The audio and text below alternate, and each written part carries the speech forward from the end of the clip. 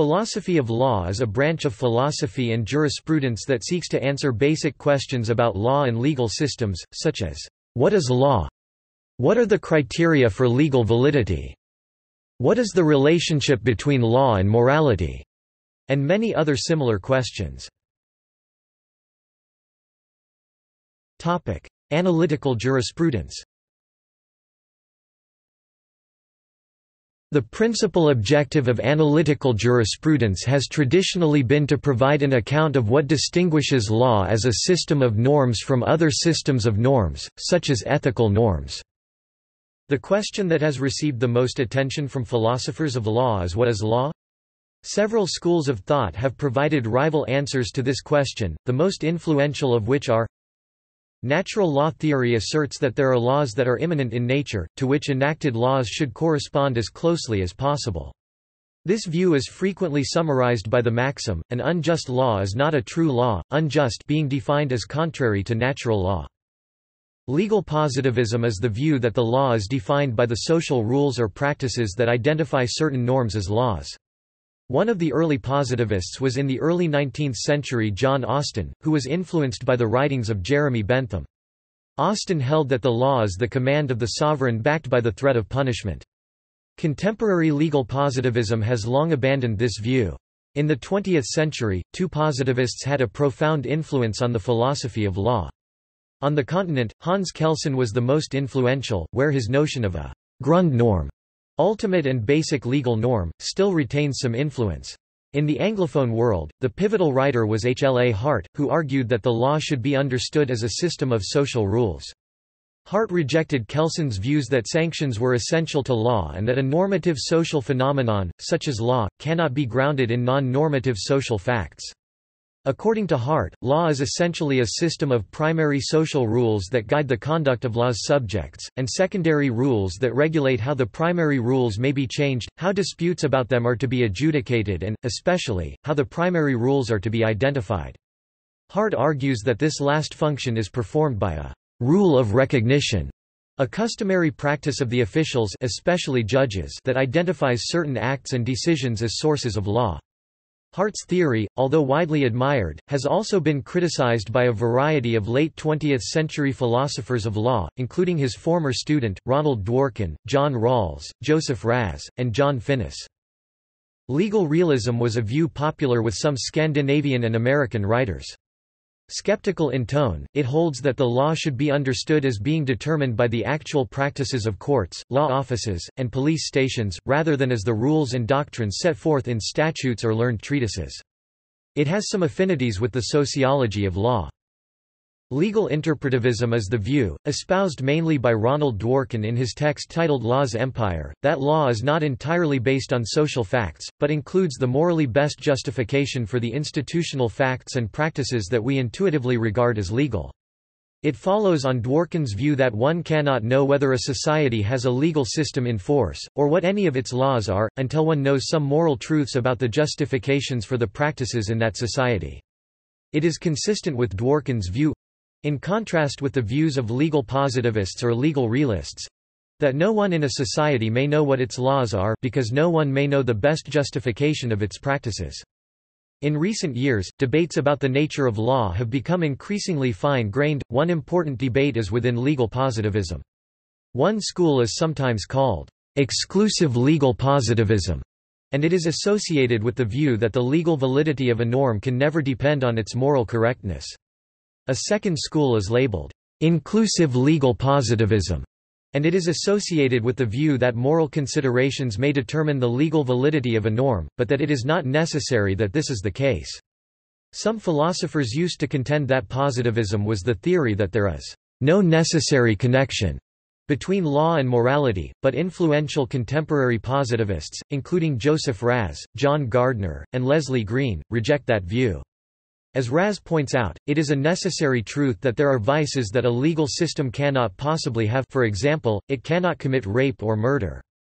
In fact, it is even unclear whether Hart himself held this view in its broad form, for he insisted both that to be a legal system rules must have a certain minimum content, which content overlaps with moral concerns, and that it must attain at least some degree of justice in the administration of laws. A second important debate in recent years concerns interpretivism, a view that is associated mainly with Ronald Dworkin. An interpretivist theory of law holds that legal rights and duties are determined by the best interpretation of the political practices of a particular community. Interpretation, according to Dworkin's law as integrity theory, has two dimensions. To count as an interpretation, the reading of a text must meet the criterion of fit. But of those interpretations that fit, Dworkin maintains that the correct interpretation is the one that puts the political practices of the community in their best light, or makes of them the best that they can be. But many writers have doubted whether there is a single best justification for the complex practices of any given community, and others have doubted whether, even if there are, they should be counted as part of the law of that community. Normative jurisprudence In addition to analytic jurisprudence, legal philosophy is also concerned with normative theories of law. Normative jurisprudence involves normative, evaluative, and otherwise prescriptive questions about the law. For example, what is the goal or purpose of law? What moral or political theories provide a foundation for the law? Three approaches have been influential in contemporary moral and political philosophy, and these approaches are reflected in normative theories of law. Utilitarianism is the view that the laws should be crafted so as to produce the best consequences. Historically, utilitarian thinking about law is associated with the philosopher Jeremy Bentham. In contemporary legal theory, the utilitarian approach is frequently championed by scholars who work in the law and economics tradition. Deontology is the view that the laws should protect individual autonomy, liberty, or rights. The philosopher Immanuel Kant formulated a deontological theory of law but not the only one possible. A contemporary deontological approach can be found in the work of the legal philosopher Ronald Dworkin. Aretaic moral theories such as contemporary virtue ethics emphasize the role of character in morality. Virtue jurisprudence is the view that the laws should promote the development of virtuous characters by citizens. Historically, this approach is associated with Aristotle. Contemporary virtue jurisprudence is inspired by philosophical work on virtue ethics. There are many other normative approaches to the philosophy of law, including critical legal studies and libertarian theories of law. Topic philosophical approaches to legal problems Philosophers of law are also concerned with a variety of philosophical problems that arise in particular legal subjects, such as constitutional law, contract law, criminal law, and tort law. Thus, philosophy of law addresses such diverse topics as theories of contract law, theories of criminal punishment, theories of tort liability, and the question of whether judicial review is justified. Topic notable philosophers of law. Topic See also Legal maxim. Critical legal studies. Critical rationalism. Constitutional economics. Judicial activism. Jurisprudence. Justice Law. Law and economics. Law and literature. Legal formalism. Legal positivism. Legal realism. Libertarian theories of law. Natural law. Rule of law. Rule according to higher law. Virtue. Jurisprudence. Mens rea actus reus. Topic References. Topic Further reading. Thomas Aquinas, Summa contra Gentiles. Many editions Ronald Dworkin, Taking Rights Seriously Cambridge, Massachusetts, Harvard University Press, 1977. Ronald Dworkin, A Matter of Principle Cambridge, Massachusetts, Harvard University Press, 1986. Ronald Dworkin, Law's Empire Cambridge, Massachusetts, Harvard University Press, 1986.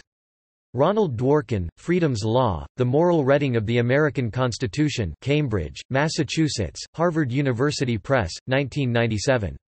Lon L. Fuller, The Morality of Law New Haven, C.T., Yale University Press, 1965. John Chipman Gray, The Nature and Sources of Law Peter Smith, 1972, reprint. H. L. A. Hart, The Concept of Law Oxford, Oxford University Press, 1961. H. L. A. Hart, Punishment and Responsibility Oxford, Oxford University Press, 1968. Sterling Harwood, Judicial Activism, A Restrained Defense London, Austin and Winfield Publishers, 1996. Georg Wilhelm Friedrich Hegel, Philosophy of Right Oxford University Press 1967 Ian Farrell and Morten Ebbe Juul Nielsen, Legal Philosophy, Five Questions, New York, Automatic Press, April 2007 Oliver Wendell Holmes, Jr., The Common Law Dover, 1991, reprint. Immanuel Kant, Metaphysics of Morals Doctrine of Right Cambridge University Press 2000, reprint. Hans Kelsen, Pure Theory of Law Lawbook Exchange Limited, 2005, reprint. Duncan Kennedy, A Critique of Adjudication Cambridge, Massachusetts, Harvard University Press, 1998. David Lyons, Ethics and the Rule of Law Cambridge, Cambridge University Press, 1984. David Lyons, Moral Aspects of Legal Theory Cambridge, Cambridge University Press, 1993. Eduardo Bittar, Democracy, Justice and Human Rights, Studies Critical Theory and Social Philosophy of Law Saarbrücken, Lap, 2016. Neil MacCormick, Legal Reasoning and Legal Theory Oxford, Oxford University Press, 1979. Joseph Raz, The Authority of Law Oxford, Oxford University Press, 1983, reprint. Robert S. Summers, Instrumentalism and American Legal Theory Ithaca, N.Y., Cornell University Press, 1982. Robert S. Summers, Lon Fuller Stanford, C.A., Stanford University Press, 1984. Roberto Mangabeira Unger, The Critical Legal Studies Movement Cambridge, Massachusetts, Harvard University Press, 1986. Jeffrie G. Murphy and Jules L. Coleman, The Philosophy of Law, An Introduction to Jurisprudence Boulder, C.O., Westview Press, 1989. Reinhold Zippelius, Rechtsphilosophie, 6th ed., Munich, ch. Beck, 2011. External links Internet Encyclopedia of Philosophy, Philosophy of Law